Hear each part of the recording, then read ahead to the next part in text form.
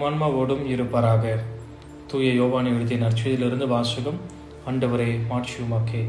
அதிகாரம் பதினான்கு இறைவசனங்கள் இருபத்தி ஏழு முதல் முப்பத்து ஒன்று முடிய. அக்காலத்தில் இயேசு தம் சீடரை நோக்கி கூறியது அமைதியை உங்களுக்கு விட்டுச் சொல்லுகிறேன். என் அமைதியையே உங்களுக்கு அளிக்கிறேன். நான் உங்களுக்கு தரும் அமைதி உலகம் தரும் அமைதி போன்றது அல்ல. நீங்கள் உள்ளம் கலங்க வேண்டாம் மருள வேண்டாம். நான் போகிறேன் பின் உங்களிடம் திரும்பி வருவேன் என்று நான் உங்களிடம் சொன்னதை கேட்டீர்களே. நீங்கள் என் மீது அன்பு கொண்டிருந்தால் நான் தந்தையிடம் சொல்வது பற்றி மகிழ்ச்சி அடைவீர்கள் ஏனெனில் தந்தை என்னை விட பெரியவர். இவை நிகழும்போது நீங்கள் நம்புமாறு இப்போதே இவள் நிகழும் முன்பே சொல்லிவிட்டேன்.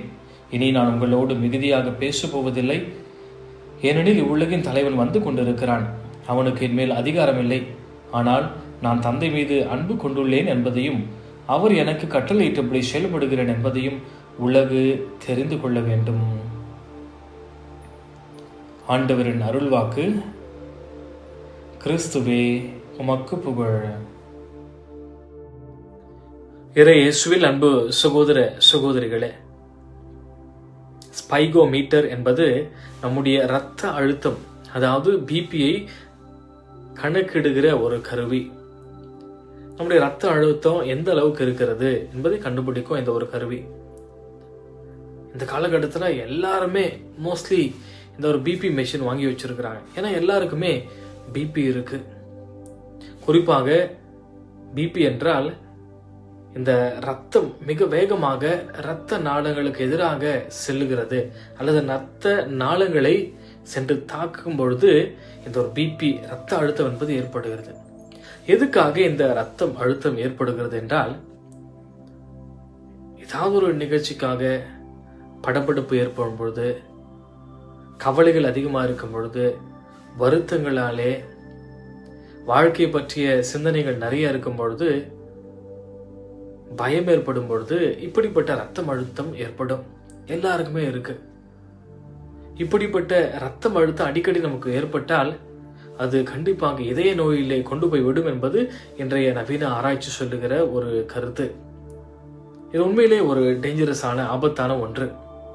இன்ற நச்செய்தியிலே இப்படிப்பட்ட ரத்த அழுத்தங்கள் படபடப்பு கவலைகள் எல்லாம் உங்களுக்கு இருக்கக்கூடாது. மகிழ்ச்சியோடு வாழுங்கள். அதற்காக நான் சமாதானத்தை தருகிறேன் என்று ஆண்டவர் நச்சையில சொல்கிறார்.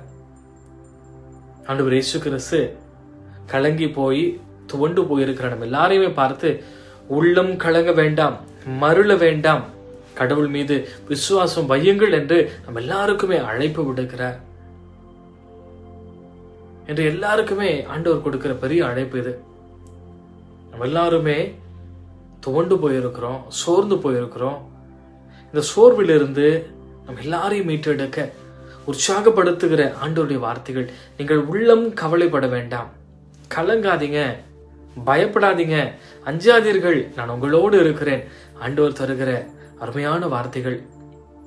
அன்புக்குரியவர்களே ஆண்டவர் இயேசு கரசு இந்த வார்த்தைகளை தன்னுடைய சீடர்கள் இடத்துல கூட சொல்றார். அந்த கடைசி ராவுணவிலே ஏற்படுகிற அந்த வார்த்தைகள் இவை.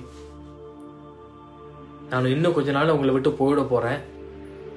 நான் பார்த்து இருந்துக்கங்க என்று சொல்லும் பொழுது இந்த சீடர்கள் எல்லாம் பயந்து நடுங்கி கொண்டிருக்கிறார்கள். கவலை அதிகமாகுது. ஐயோ இவருக்காக எல்லாத்தையும் விட்டுட்டு வந்துட்டோமே. நம்ம மீன்பிடி தொழில் நம்முடைய குடும்பம் நம்முடைய உறவுகள் எல்லாத்தையும் இவருக்காக விட்டுட்டு வந்துட்டோம். இப்போ நம்ம நடுத்தருவில் விட்டுட்டு போற மாதிரி இவர் நான் உங்களை விட்டு போக போகிறேன். என்னை நீங்கள் இன்னும் கொஞ்ச நாள்ல காண மாட்டீர்கள் என்று சர்வ சாதாரண சொல்றாரே. என்று அவர்களுக்குள்ள கவலை அதிகமாகிறது படபடப்பு அதிகமாகுது. பயம் தொற்றிக் கொள்ளுகிறது இனிமேல் சாப்பாட்டுக்கு என்ன பண்ண போறோம்? என்ன செய்ய போறோம்? என்று பயந்து நடுங்கி கொண்டிருக்கிறார்கள். கண்டிப்பா அவங்களுக்கு எல்லாருக்குமே பிபி வந்திருக்கணும். கொஞ்சம் பேருக்கு ஹார்ட் அட்டாக் கூட வந்திருக்கணும். இப்படிப்பட்ட நேரத்துல கவலை தோய்ந்த அந்த முகங்களை பார்த்து அந்த சீடர்களை பார்த்து ஆண்டவர் சொல்லுகிறார் சமாதானத்தை உங்களுக்கு விட்டு சொல்லுகிறேன். என் சமாதானத்தை உங்களுக்கு தருகிறேன். நான் தருகிற சமாதானம் இந்த உலகம் தருகிற சமாதானத்தை போன்றதல்ல. இது நித்திய சமாதானம். என்றென்றும் நீங்கள் மகிழ்ச்சியோடு வாழ நான் கொடுக்கிற சமாதானம் ஏற்றுக்கொள்ளுங்கள் என்று கொடுக்கிறார். அன்புக்குரியவர்களே இன்று ஆண்டவர் நமக்கு எல்லாருக்குமே ஆறுதலாய் கொடுக்கிற வார்த்தைகள் இவை. மகனே நீ கலங்காதே. நம்ம வாழ்க்கையில நிறைய பிரச்சனை வருது. கண்டிப்பா நிறைய சோதனை வரும். அடிக்கடி கீழே விடுவோம் தோல்விகள் ஏற்படும். நாம நம்பினவங்களே நம்மளை கைவிட்டு போயிடுவாங்க. தலை மேல அடிப்பாங்க.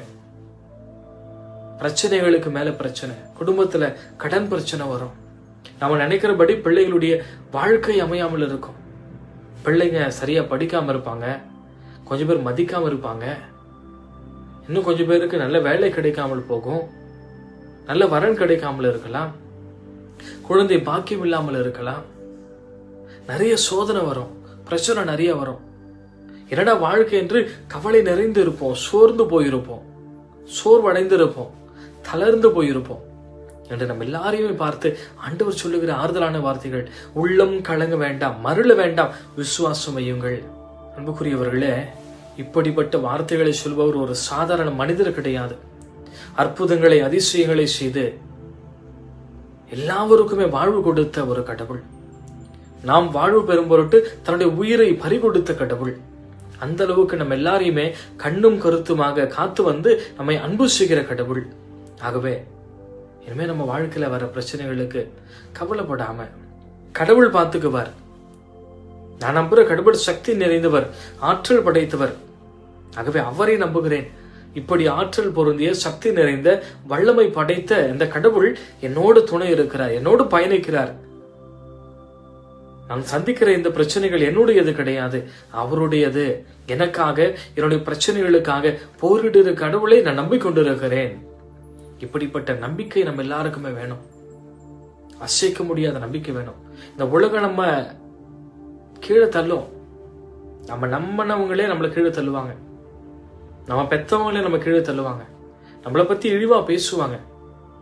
இல்லாதது பொல்லாது பேசுவாங்க. கவலைப்படாதீங்க. ஆண்டவர் நம்மோடு இருக்கிறார். இன்று இல்லைன்னா கூட ஒரு நாள் நாம் எதிர்பார்க்காத நேரத்துல ஆண்டவருக்கு தெரியும் நமக்கு எப்போ கொடுக்கணும்னு சொல்லி. ஆகவே நம்பிக்கையோடு தொடர்ந்து நம்பிக்கையை தளர விடாது. ஆண்டவர் மேல நம்பிக்கை வைப்போம். அவர் நம்மை பாதுகாக்கட்டும். அவரிடத்துல நம்மை முழுவதுமாக ஒப்பு கொடுப்போம். இப்பொழுது சிவிப்போம் எங்களுடைய தாயும் தந்தையுமான எங்கள் அன்பு தகப்பனே இந்த நாளுக்கு நன்றி செலுத்துகிறோம். உள்ளம் கலங்க வேண்டாம். மருள வேண்டாம். பயப்பட வேண்டாம். நான் உங்களோடு இருக்கிறேன்னு சொன்ன ஆண்டவரே இந்த வார்த்தைகளுக்கு நன்றி. இனி எப்படிப்பட்ட துன்பம் வந்தாலும் நாங்கள் சோர்ந்து விடாமல் சஞ்சலமடையாமல் தொடர்ந்து உமை இருக பற்றி கொண்டு உமக்காக எங்களுடைய வாழ்க்கையை தொடர்ந்து வாழ எங்களுக்கு வரமளித்தருளும். ஆமென். ஆண்டவர் இருப்பாராக உம் ஆன்மாவோடும் இருப்பாராக. எல்லாமல் இறைவன் தந்தை மகன் தூயாவியானவர் உங்களையும் உங்கள் குடும்பங்களையும் நிறைவாக ஆசிர்வதிப்பாராக. ஆமென். கப்ளஸ் யூ இல்லாத நாளெல்லாம் நாளாகுமா? நீரில்லாத வாழ்வெல்லாம் வாழ்வாகுமா?